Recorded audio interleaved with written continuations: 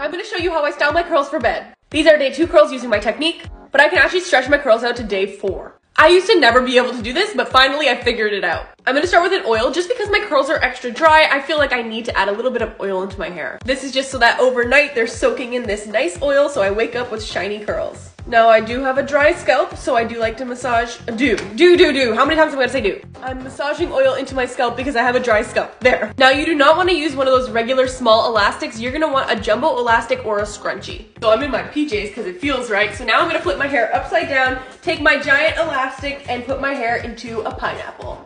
This is what the pineapple looks like. Now I never go to sleep without a bonnet. I find it really preserves my curls, so I'm taking my satin lined bonnet and I'm going to flip my hair like this and stick it in. One second. Just gonna tuck the rest of the hair.